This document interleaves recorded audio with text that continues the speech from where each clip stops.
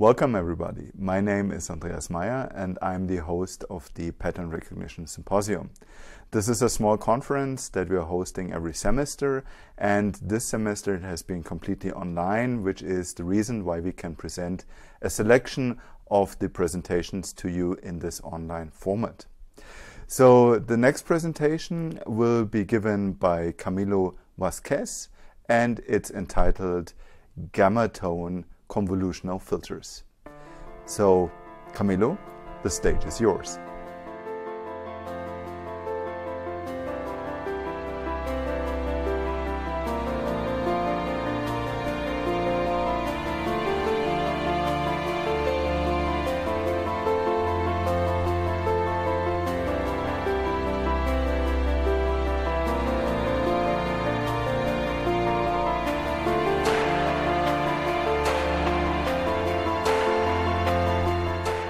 Hello everybody, thanks for the introduction. So I will talk about my recent research on gamma tone convolutional filters for end-to-end learning in speech signals.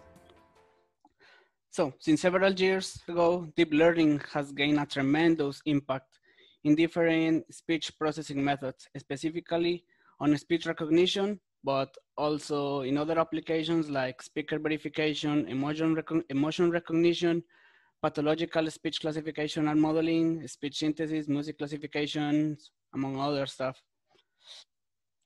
The main question for the deep learning methods in speech processing is how to format the input data to the neural network. We can use pre-computed features or we can use different spectral representations like MEL spectrograms or just we can use the raw waveform, the raw waveform for an end-to-end -end learning scheme. So the first, in the first case, the, the use of pre-computed features like phonation, articulation, or prosody, they are good for the interpretability of the network, especially for clinical, for clinical applications, but in general, they are not robust enough for most of applications. So in the second case, when we use like spectral representations like the MEL spectrograms, still uh, many researchers use still computer vision architectures to model these uh, time series models like AlexNet, ResNet, UNet, and or whatever. So even people from the lab, even myself, we used to do that in the past. Currently, there are novel strategies to process speech signals based on spectral representations using spectrograms like the one that Tomas showed before, using only vertical or horizontal kernels to model frequency or temporal features. So in general, the, these spectral representations like the MEL spectrogram are, they were really good. I mean, you can obtain basically state-of-the-art results, but in general, the models are visually or they are inspired still from the computer vision community.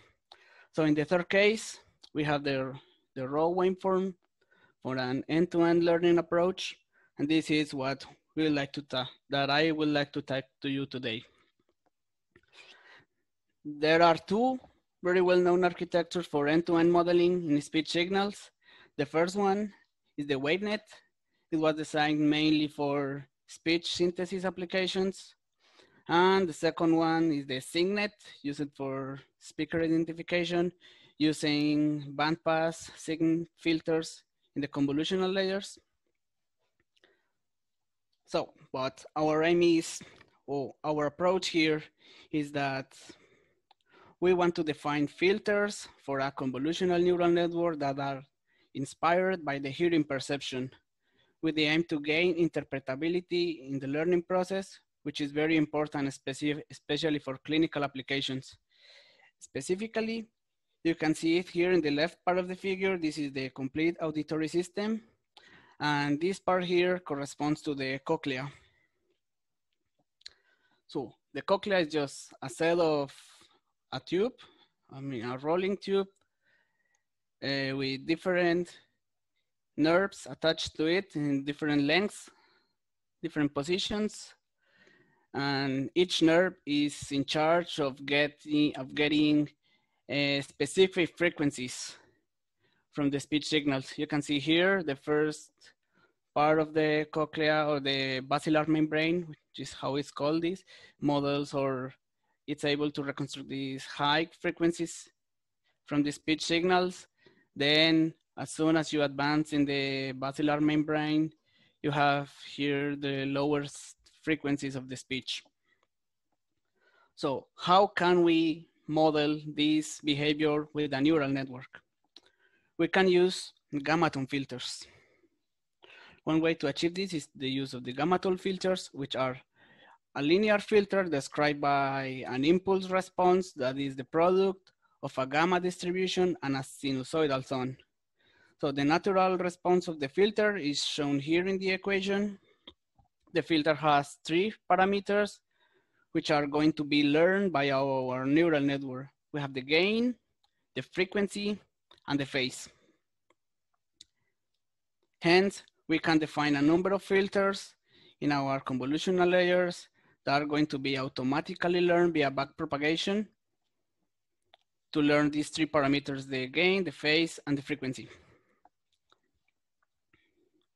If we unroll the basilar membrane or the cochlea that I showed before, the frequencies and gains of the learned filters can be related to the actual hearing response of the human ear. If we learn a filter bank like this automatically in a neural network, we can have like a representation totally inspired from the auditory system. So here I present a summary about the comparisons of a general gamma tone convolutional filter with a traditional 1D convolutional filter that's available in the packages like Python or TensorFlow. Uh, for the gamma tone convolutional filter, for any kernel size, depends on, doesn't depend on the length, we only have three parameters to learn, which are the phase, the frequency, and the gain of the, of the gamma tone filter. The gamma tone filters are also able to process any temporal context of the speech without additional parameters. We also have interpretable layers, interpretable layers in the gamma tone, and we also have the known operator like the filter shape of the, in the convolutions. On the contrary, for the normal convolution, one-dimensional convolution, the number of parameters to be learned depends on the kernel size and the length of the convolutions. The normal convolutions also increase the temp, the increasing the temporal context in the convolution yields more parameters to learn as well. They are, they are also non-interpretable.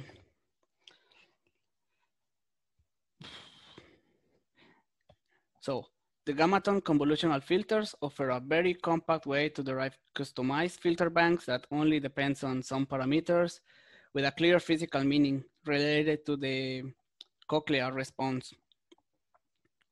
And also the traditional filters learned by the convolutional neural network often take noisy and weird multi-band shapes, especially when few training samples are available. So the filters learned by the normal convolutional layer can make some sense for the neural network, but they, they do not appeal to the human intuition. So with the use of these gamma tone convolutional filters, we design a convolutional neural network to process the raw speech signals to solve different classification problems. The first layer, the first layer of our network will be a gamma tone convolutions to process the raw speech frame and to learn automatically a filter bank with some frequencies, gains, and phase. Then we have two convolutional layers to process some features learned by the gamma tone filters. Then we have a bidirectional GRU layer to model the temporal context of the speech signal. And then we have two classification layers to solve the different problems that I'm going to show you in the next slides. So our proposed model using the gamma tone filters is tested for two different applications. The first one is the classification of Parkinson disease patients and healthy control subjects using different speech signals. And the second one is a work on emotion recognition from speech. We aim to classify between positive and negative emotions, and we aim to classify as well between high versus low arousal emotions. Regarding the data for the Parkinson disease classification, we have data from 106 patients and 105 healthy control subjects. All of them are age and gender balanced. They are Colombian Spanish native speakers. And we asked the participants to perform different exercises like the, the cokinetic task, like the rapid repetition of pataka, pataka, pataka. They have to read several sentences. They have to read a paragraph, among other tasks. For the emotion recognition, we use the IEMOCAP corpus, which is a database developed at the University of Dallas. It has 10 different subjects who act 10 different emotions in scripted and in spontaneous scenarios. The data is formed with 10,000 speech segments labeled with 10 different emotions. Also, they have some levels of how positive was the emotion, of how negative was the emotion, how excited was the emotion, or how relaxed was the speech.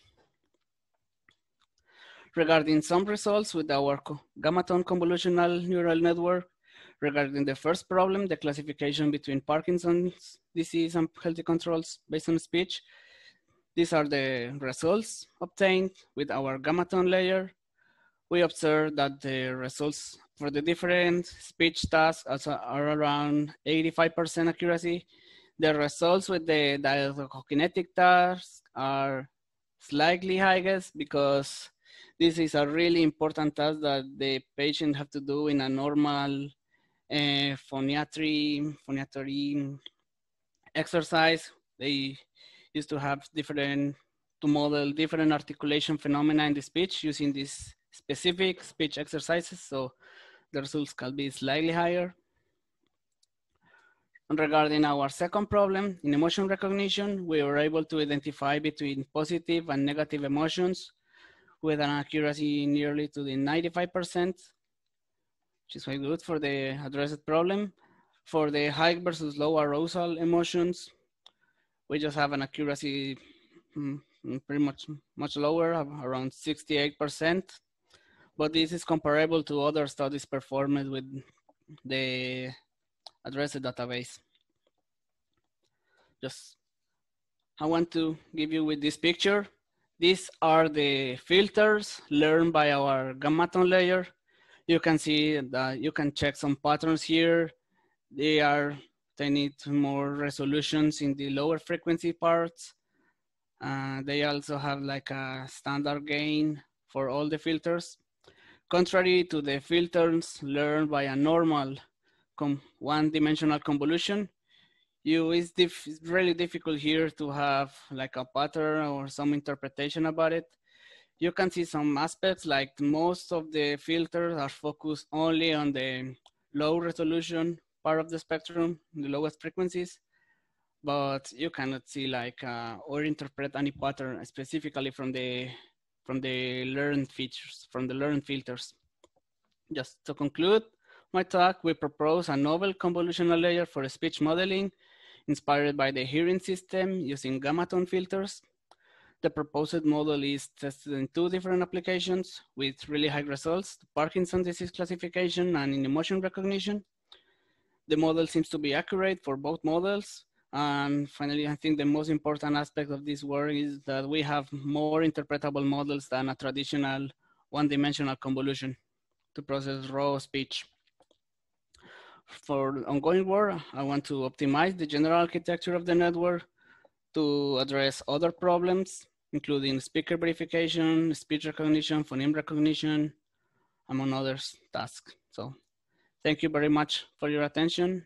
If there are some questions.